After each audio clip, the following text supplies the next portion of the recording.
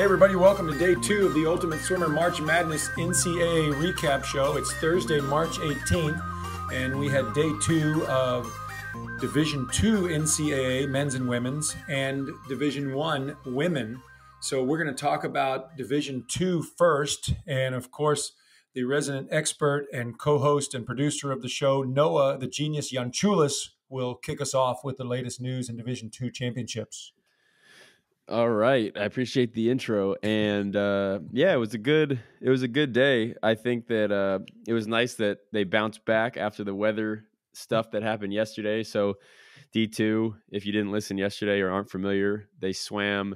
They didn't swim finals last night, so they swam the events that would have been last night this morning, and then all of today's events they swam as a time final session in the evening. Um, and they actually got delayed again tonight for an hour and a half or so because of some more weather stuff. But eventually they were able to able to finish it out. But so going back to all of yesterday's events, they swam those this morning. That was the the thousand free final, 200 IM, 50 free, 200 medley relay, and uh, we'll start with the we'll start with the women's. Um, I guess yeah, we'll do all the women's first for uh, day one and two, and then we'll go back and do the men's. But so Allison Weber from Drury, she won the thousand free 953 and uh, it was a pretty pretty dominant performance. She won by over two seconds uh, that was a good that was a good win for her. And then 200 im was uh, marziel van Jaarsveld uh, and she's a senior at indianapolis 157.8 in the 200 im and i believe she transferred from obu a couple years back and so she's doing really well at indianapolis now which is great to see yeah. And then in the women's 50 free, Danielle Malili from Queens, just a sophomore, uh, swam 22 5 7, won by almost three tenths, and just kind of dominated that race. Uh, one of her teammates finished six in that race. So Queens got some nice points in the 50 free. And then to finish off the morning session, the Queens women uh, swam 140.1 in the 200 medley relay. And that was Rachel Massaro, Danielle Malili, Kayla Tennant and Natalie Van Noy. And I thought it was interesting because they swam exactly their seed time. So talk about consistency. Queens knows how to do it. That's good. Yeah, those relay points and uh, a good showing in the morning will uh, set them apart, I think, uh, for the rest of the meet. Um, I think it's interesting to look at the fastest splits. Um, back was Laura Pareja from Drury, 24.8. Breast was Anne Sophie from Wingate, 27.8. Fly, Mackenzie Weiberg from Drury, 24.0. And then uh, Leticia Vasili from Indy was the fastest free split, 22.56. What I thought was interesting about that was that Queens won the event, but they had none of the fastest splits. So they were pretty good, but they didn't have any of the fastest splits, which is was kind of interesting for a team to win it. Yeah, their overall depth did it. That's cool.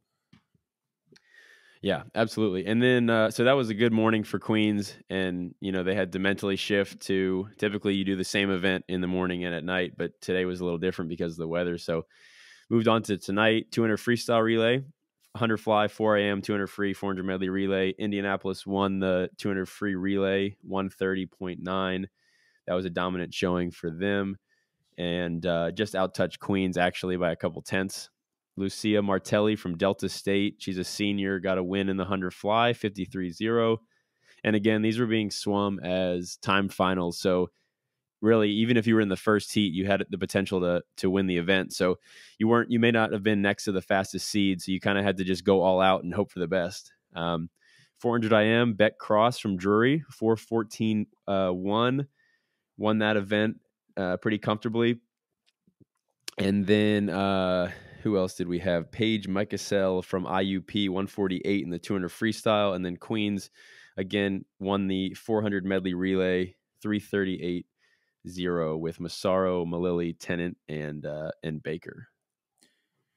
And like usual, it's Queens and Drury and Indy, you know, right there together on a lot of those relays. On the men's side, it's kind of Queens, Drury, Indy, and McKendree. Um, but it's just they're just such great rivalries um, between these top three or four teams. It's pretty fun to watch when you're when you're watching the live stream. So they really did well, all things considered, with the tornado delays and the, the shifting of the schedule. Yeah, absolutely. And then uh, just to quick go run over the fastest splits from the women's session for those for those relays. Um, it was Lexi Baker, Weinberg again, uh, Vaselli, and Malili all between twenty two three and twenty two six. And uh, and then for the 400 medley relay splits, Laura Pareja again 52 4, uh, 100 back split, which is really nice. And then Lily Borgenheimer from Colorado Mesa had the fastest uh, breaststroke split on a relay that I believe finished like 12th or 13th, but she was oh, wow. 100.9, which was just phenomenal. And then uh, Lucia Martelli, Delta State, 53 1. And Lexi Baker from Queens had the fastest freestyle split at 49 0. Yeah, so the women's race, Queens has a big lead at 314 to Drury's 232. Indy a little bit back in 206 and Lindenwood just behind them, 193, and Tampa down in fifth for 119. So Queens is off to a really solid first two days. Yeah, I mean, obviously a lot a long way to go, but yeah, to have a you know have a has 60 70 point lead almost 80 point lead going into into day three is a is a pretty good sign so queen should be feeling pretty good and on the men's side uh, it's a little closer battle between Drury and Queens. Drury is really holding their own well. Um, but man, McKendree has the distance king, it's looking like. Absolutely. Yeah. Fabio Dalu, he's a sophomore at McKendree. He won the thousand last year right before the meet got got postponed and canceled because of COVID. But he came back this year, 854 1. He broke the NCAA record and obviously was a, a lifetime best for him and uh, yeah, he he's real real dominant in the distance events, and then he is going to be looking to win the 500 and win the mile as well coming up. But he was very dominant, and then uh, he had the Delta State Junior Emmanuel Fava win the 200 IM 143.9, and then the super super sprint stud from Drury Karol Ostrowski he broke the meet record in the 50 freestyle 19-1 was a little bit off his lifetime best but we'll talk about it in a sec. But he came back and swam a really great leadoff leg of the 200 free relay at night. But he got the individual win, and then Drury came back right after that, actually without Car- Karol, and they won the 200 medley relay, broke the NCAA record, and uh, had a 18-6 split from Alex Bowen to anchor that relay. So while they have the fastest sprinter in the country in Karol, they've also got another guy, Alex Bowen, who can split 18 6. So it's not like they're missing much. Yeah, Bowen did a great job. Fastest back was Jaron Thompson, 21 3 from Indy. Fastest breast was another Indy guy, Jan Zukowicz, 23 5. And uh, the fly guy from McKendree, Greg Lachinsky, 20.2.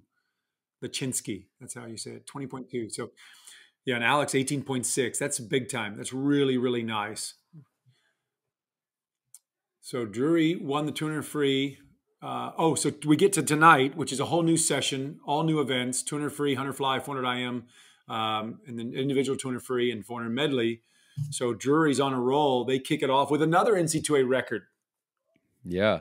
116.9 NCAA record. They broke Tampa's, uh, I think, three or, four or five year old record of 117.2. But then Karol led off this relay 18.9.2. So that was the fastest Division two swim in history, first Division two swimmer ever to break 19, and uh, that's a huge a huge swim for him, and uh, obviously kept the momentum rolling for for Drury. Um, but you know, Queens has a lot of depth, and and Queens was able to challenge a little bit later in the night. But uh, hundred fly went to Tim Stallings, probably the I would say the most unknown school maybe at this entire meet, Findlay out of I think it's a small school in Ohio, but Tim Stallings is a sophomore. He went 45-5 to win the event.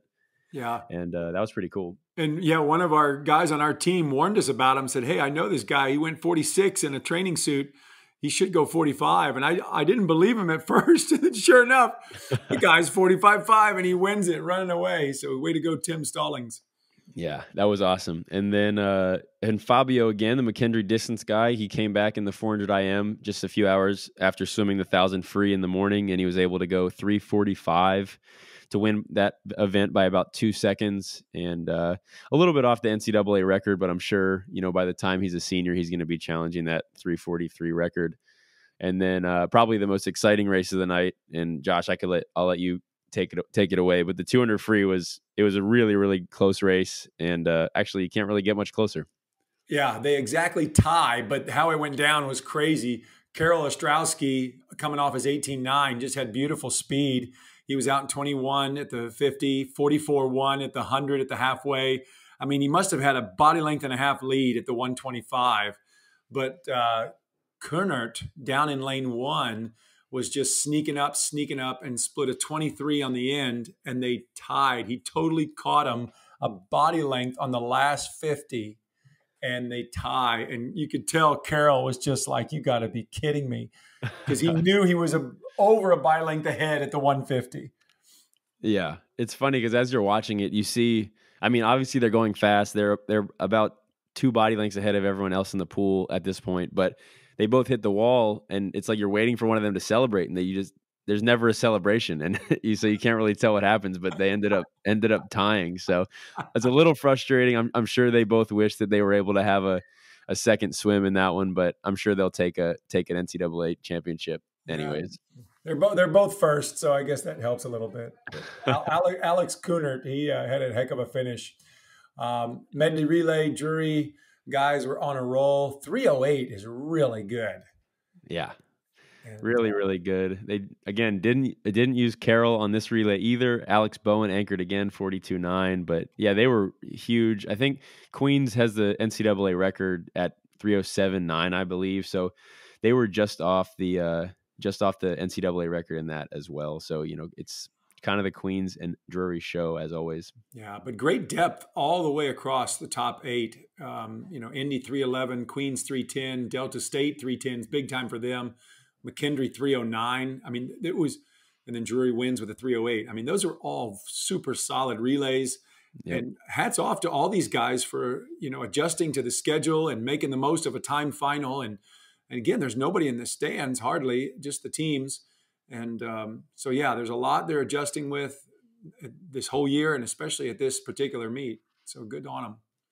Yeah, I think it's kind of, in a way, just how crazy the year has been the past, and really the past 12 months it kind of i mean i'm sure it made this whole thing a little bit more manageable because i think had this happened in a normal year with the weather it, it really would have thrown some people off but it, i mean this year with everything that's gone on it's not really like anything can surprise us at this point. So i think you know i'm sure that that helped out mentally a little bit because everybody seemed to come back and and swim pretty well. Yeah I, I, think everybody's just so happy to have a meet that they can you can throw anything at them now and they'll they'll adjust to it. So, yeah, but uh, but yeah, the men's teams race I, I thought Drury would be a little bit higher, but Queens has three fifteen to Drury's two seventy, and then uh, yep. way way back in third is Lindenwood one seventy, McKendree one sixty seven, Indy one sixty one. So a good battle for third. But uh, yeah, it's going to be a nice little dogfight between Queens and Drury the next two days. Yeah, it's tough. Queen's got Queen just has a lot of depth, but it will yeah. be it'll be a good fight. Um, but uh, yeah, so we'll have some some more good racing for for D two tomorrow, and the schedule will be back to normal. So it'll be prelims, finals again. You know, hoping there's no crazy weather things. Yes, so good stuff happening in Birmingham, Alabama for D two champs, and uh, but in Greensboro, North Carolina, we have the women's meet. Day two went down and uh, we got the 200 free relay. Uh, California upset Virginia despite Kate Douglas's 2109, third fastest all time. California averages 21s and wins. yeah. Cool. I think Cal was a little bit, a little bit, uh, you know, more aggressive and had a little bit more enthusiasm today. You know, after losing the uh, eight free relay yesterday, I think they were coming back a little hungrier. But yeah, Isabel Ivey had a great. Uh, I mean, really, all the girls had a great split. Eloise Riley led off 22-0, and that was the slowest split. But then they were just 21-2s the rest of the way, so they were able to just outtouch Virginia by uh, two tenths. And again, Kate Douglas is a beast, though, leading off 21-0 and going the third fastest of all time. Yeah, but it, it, was pretty cool to see Isabel Ivey just take on Alex Walsh full force, and then they go at it. Yeah, but it was really um, Elise Garcia's third leg for California that gave them the cushion. So, anyway, so that was fun. NC State had a very nice time. Uh, leading off in 21-8 is huge for a backstroker. Yep. Um, so that that was fun, and um, makes the point, you know, the team race a little more exciting. Uh, Absolutely. Uh, 500 free uh, Paige from Virginia was so strong. She led from start to finish and really, really did a good job in the middle, kind of separating herself from the others. Um, so she, it looked, you know, like it was expected. Like that's what she wanted. She trained for that for two years and made it happen. Um, but Evie Pfeiffer from Texas, upsetting Brooke Forde and Sierra Schmidt, all of them seniors, all four of those people seniors um, was kind of interesting. So I, me being a Texas guy, I was super happy for Evie Pfeiffer. And what we learned tonight from that we'll hear later on from Madison is that um, Evie had set the goal. Her goal time this year was 435.04, and she went 435.02. Fascinating the power of goal setting. Absolutely. Yeah, that's I mean, she was obviously working towards that that all year. And sometimes you just put the time in your head and the hard work will pay off like that. So, yeah, pretty cool. Pretty cool. Um, but yeah, I got to wonder if there's the corona distance effect happening where there just was a few months in the last 12 months that might, where a lot of people didn't have consistent training. And I wonder if we're seeing just a couple of, maybe a second or two slower, maybe three seconds slower than normal um, yeah. for some of these ladies. But, you know, so it's kind of interesting to wonder. Yeah, Two IM was next. Alex put on a show. Alex Walsh, the freshman from Virginia, just had a beautiful fly, unbelievable back, back to breast turn, killed everybody, and um, had one of the fastest uh, last hundreds as well. 151.8 looked really, really nice. Yeah, she was she was she looked smooth, and I, I do I do want to point out, and it was kind of we had talked about we talked about this before, but 151.8 she was, she was a little bit off her best time, and I'm sure she wanted to go a little bit faster. But as a freshman, winning an NCAA individual title, and she hit the wall, and it was just like no expression, no nothing. And I was like, "Come on, Alex! Like, how about let's let's get pumped up a little bit." So I was just like, "What the heck is going on?" She won by almost two seconds. You know, ran away with it, and uh, just kind of shrugged and got out of the water. Yeah, business as usual. Um, yeah, so you, you got to wonder what what their mindset is. Are they just so focused on the team title that they're they don't want to enjoy too much along the way? You know, uh, it's that it's fair enough. Yeah, it, it's tough to find that perfect balance where you're really in the moment, you're really celebrating the wins, mm-hmm. and and yet the team title kind of take cares it takes care of itself, and you're not too stressed about it, and you're free to celebrate certain things. So. You know, I saw that with Louisville at, at the ACC meet a few weeks ago where they weren't yeah. worried about the team title. They just kind of focused on each race and really celebrated when it was appropriate. And sure enough, they ended up winning. So anyway, I hope Virginia finds that nice balance because, but they're but they're a fairly young team. Um, but another, it kind of same thing happened again. Another Virginia person won the 50 free. Yep. Kate so, Douglas. So now they've won all three individual events. Keep in mind. yeah. And Kate was like, okay, that was cool. And, you know, it was just kind of interesting. Now, Maggie MacNeil was right on her. Maggie was so fun to watch. And then I, I got to mention Sarah Thomas, uh, Thompson from Missouri, 21 4 for third. She's yeah. teammates with my son Luke uh, Davis at Missouri. So uh, the Missouri women had a very good night. Megan Keel uh, won consoles with a 21 8. So Missouri yep. had, a, had a very nice showing. And um, so anyway, I, I, thought the 50 was fun, but I think Kate Douglas can spin her arms even faster. I think there's way more in the tank for her. And yeah, uh, I do want to point out too that her start to me when I when I watch it, it's like everybody's off the block and then Kate decides to go. Like it's just like there's something more that she can have out of the start. I don't know. That just I mean, obviously 21 1 and then 21 0 on the relay, can't argue with it much, but it just does feel like there's a little bit more to be had. Yeah. When, when I look at the turnover of, of some of the others, like Abbey Weitzeil that finally broke 21 0, you know, if Kate, she's obviously grabbing a ton of water and she's got great dolphins, but if she spins those arms just a little bit faster, she could be the first person to go 20, you 20.7 possibly because it just seems it seems like a hundred, almost a two hundred stroke rate. It's fast. I will. It's super efficient. I will say it looks like one of the the strongest freestyles I've ever seen, and it just looks so so light and and effortless. Yeah, yeah. So yeah, huge night for for Virginia, um, winning those three individuals. So maybe they can start to relax and enjoy it and celebrate a little bit more. yeah, I hope so. I think it'll get it, it should get a little bit easier, I think, if they start opening up the lead, which it seems like they will. Um, especially after, and we'll get into it now, Cal DQ'd their 400 medley relay at, to end the night. Um, I believe Emily Gontrice, their anchor, jumped a little bit early, and uh, so that's a huge a huge hit for Cal. Huge. It doesn't necessarily mean they're out of it, but losing an entire relay is pretty pretty impossible to come back from. So yeah, that was that was a that was a tough blow. Yeah, that that was hard, and uh, maybe this will be the thing that lets Virginia celebrate a little bit more. But Virginia got second to to NC State's new NCAA and U.S. Open record, the fastest relay ever. And uh, this was NC State women's first ever title, and their first NCAA title, and they bust the record going out. So it's, it's Berkoff's 50.0, Sophie so Hansson's 57.0 for the breaststroke. Alons was huge. Kylie went 49.2 fly.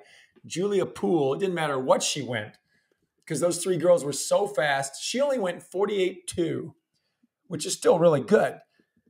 But when yeah. Simone Manuel uh, anchored Stanford to the previous record, she was 45 like 8 or 45 6, something crazy. Yeah. And it is it's crazy. Like Julia Poole is uh, obviously a great a great swimmer, a great sprinter, but like you look at 48 2 if you cover up the rest of the splits and just see 48 2 you're like okay yeah they probably went like 330, 330. Like, you know, like there's no way they're breaking a record with a 48-2 anchor. Yeah. But they did. So they did. So that's pretty cool. But but hats off to Virginia. They were right there. I mean, you know, they were just a couple hundredths off the old record, the old Stanford record themselves. Yep. Uh, so that was cool. Um, Kate Douglas 46-3 was pretty awesome. And um, they their their backstroke girl Reilly Tiltmann did a good job, 50.4. But Texas got third, so I got to throw that in there. So yep. Kelly Pash had a 47-5 relay split, and I watched when I was watching the race. I thought her exchange was so crazy scary, and sure enough, it was negative 0.01. Can't get any closer. Perfect, the most perfect start you can have without being disqualified. If you're negative 0.02, you're out. But the yeah. timing system allows you to go negative 0.01. Holy cow! Amazing. A lot of the a lot of the exchanges were pretty close, and I thought that actually uh, Virginia's flyer Lexi Cuomo. I thought it looked just watching it looked like she may have jumped early, but yeah, Kelly Pash was a little too close for comfort, and then Texas was kind of gifted that bronze medal because Cal got DQ'd, but yeah, it uh it paid off. So yeah, very interesting stuff. Oh, by the way, Maggie MacNeil yes. led off in forty nine point seven hundred back. So that was with her awesome dolphin kicks.